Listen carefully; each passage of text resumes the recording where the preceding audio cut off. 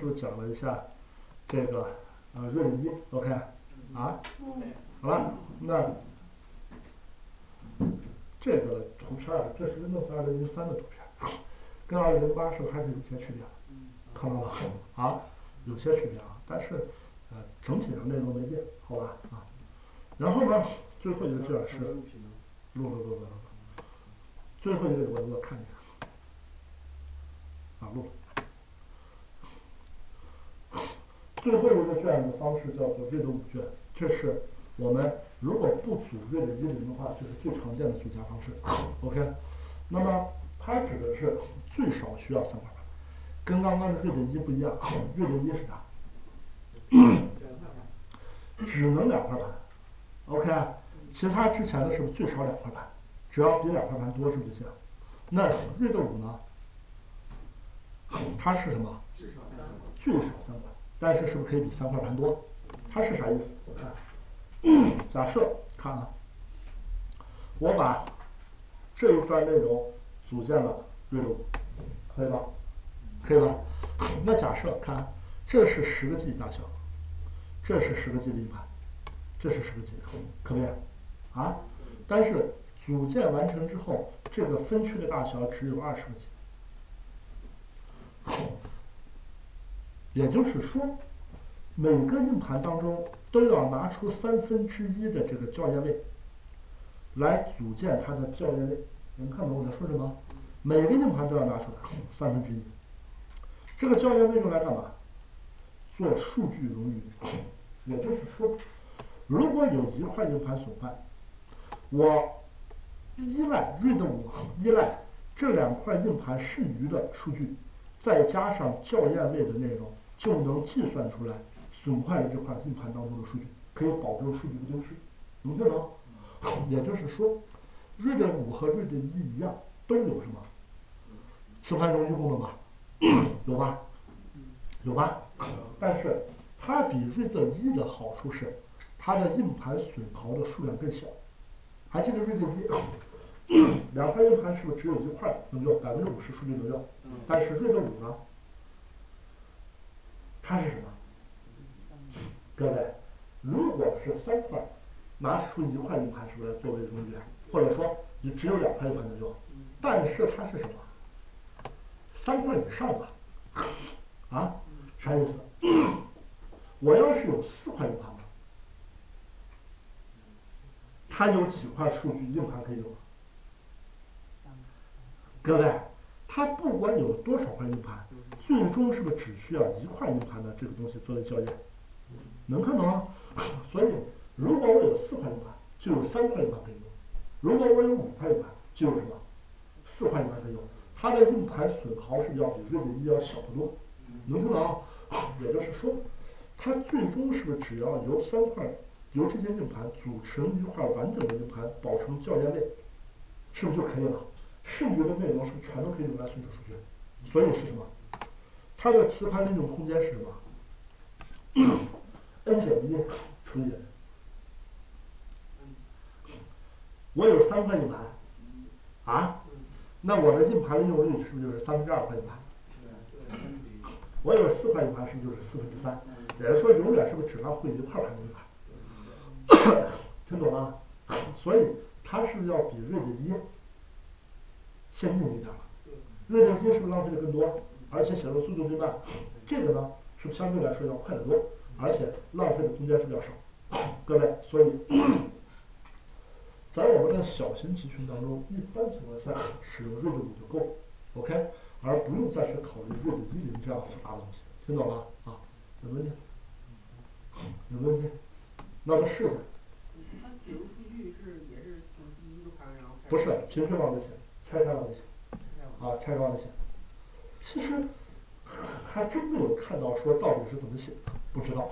但是现在就是说，有一块硬盘损坏，整个月的就肯定会丢，所有数据都会丢，然后必须补全，然后修复才可以使用。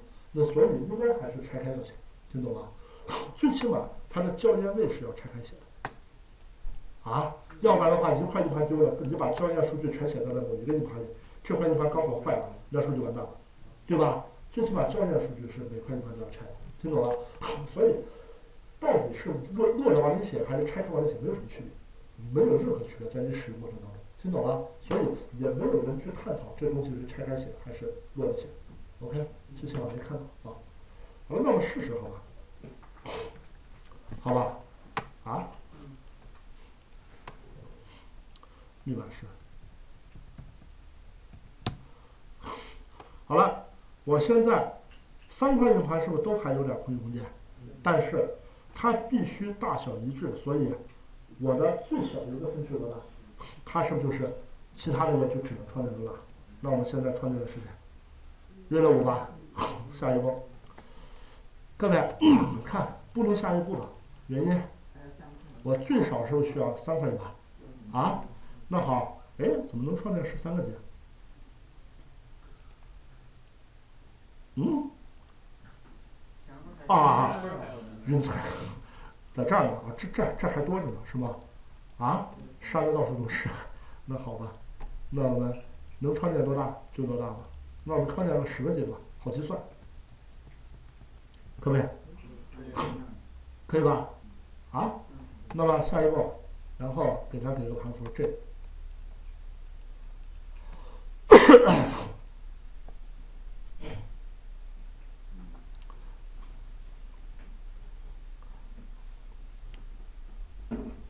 好了，这里看画的乱七八糟的，但是是不是到处都有？因为你前面是不是有空闲的？啊？对吧？好家伙，好卡，正在可视化，稍等。各位，我的电脑的性能应该是要高于我们的服务器的，或者也应该高于你们的电脑。所以，虽然我这块看起来好像还比较慢，但是已经画完了。你们的速度要比我这慢得多啊！你们做实验的时候不要着急啊。好了，我的这盘有了吧？有了吧？但是你看他画的乱七八糟，这块是不是还留了一个？它自己是自动分配了。那现在我问你，这盘的大小是多大？对啊。多大？只有三分之二的硬盘是不是可以用？再拿出一块硬盘是不是？那有多少？看，二十个 G。看到了我说什么？永远都会损失一块硬盘的大小。OK，换句话说。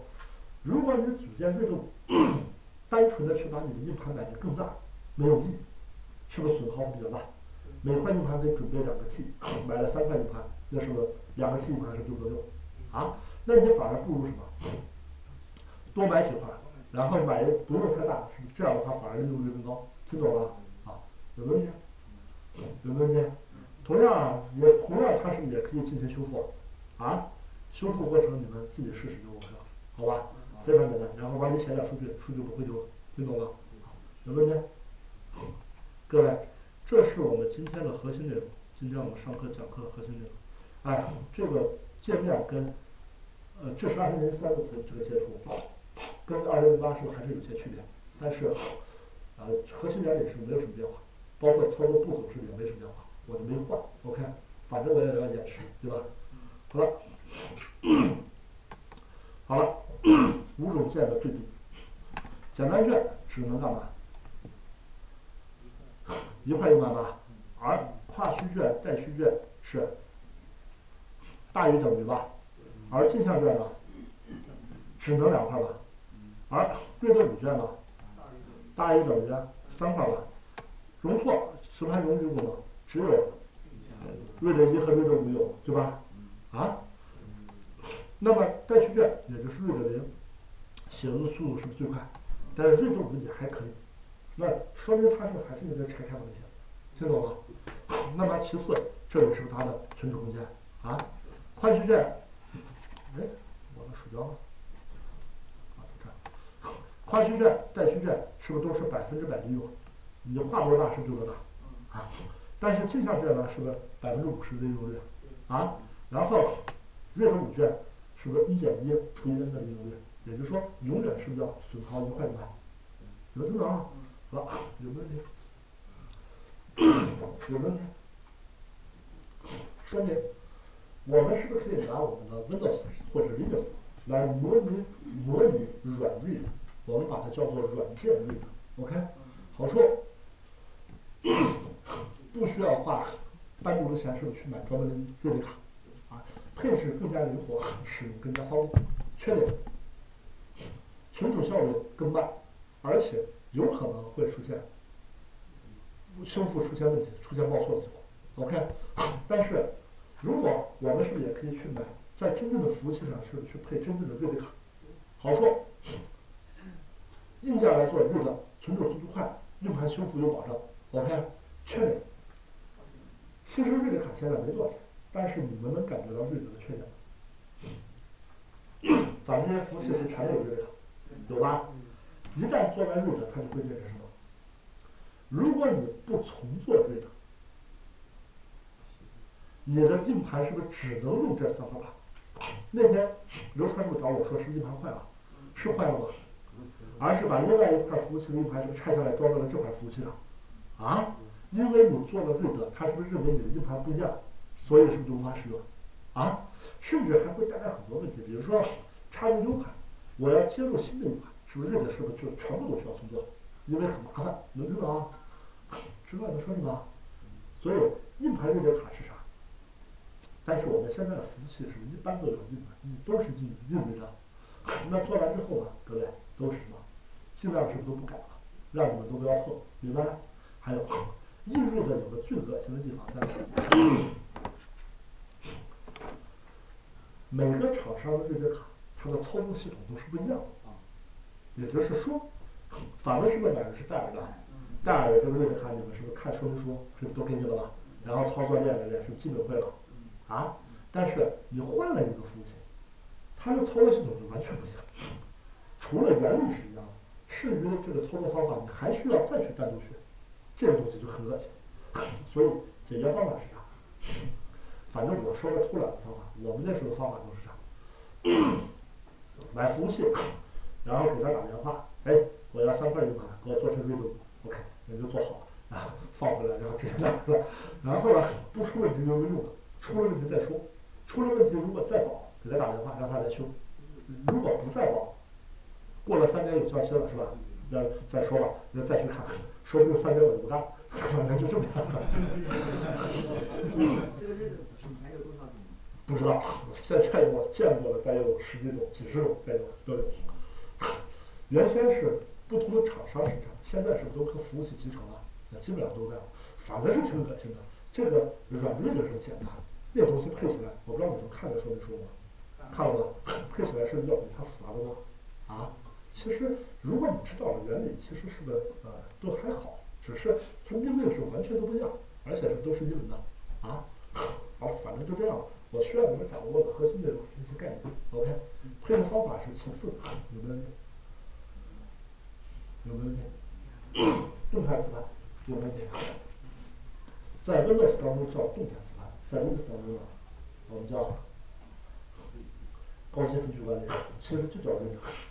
其实 Windows 还有另外一种管理方式，叫做 LVM。LVM 呢，其实更加类似于我们 Windows 下的这个东西，就是这个。还记得我说话去掉吗？啥？可以了吧？跨磁盘是调整分区大小，但是没有冗余吧？那 LVM 其实是跟它非常类似的，只是这是图形界面，而我们这个是需要通过用户来做。但是用命令做，它其实就做起来难度要比它高得多。原因很简单，你先要把每个这个硬盘空间，是不是变成一个一个区，一个巨无卷，在 Windows 当中叫卷，啊，在我们的 Linux 当中把它叫做物理卷，先要也叫卷，OK，然后呢，把物理卷是不是再合成一个逻辑卷，然后再从逻辑卷里面去划，划分出来你实际使用的东西。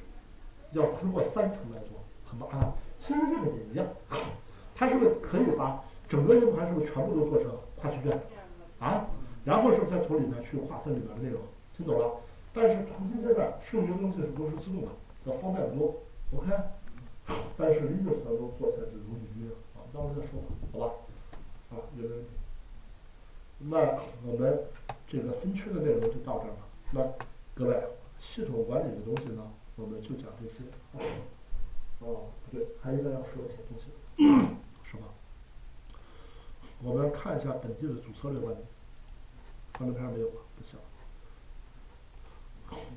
啊，在这儿应该是本地安全策略，对吧？在这里有这样一些内容：第一，账户策略；第二个，密码策略。这里 有吗？有吗？复杂性要求啊，是不是代表我的密码是不能是一二三四五六？如果选择禁用，确定之后是不是才可以使用？啊？其次，一旦启用了复杂性要求，这些最小的字符数量是不是都会起限制？啊？那如果你需要密码有效期，那零的话是不是就是不限制？啊？最长有效期四十二天，代表你每隔四十二天是不是要更改密码？这东西是不是都是合理的？能听懂吗？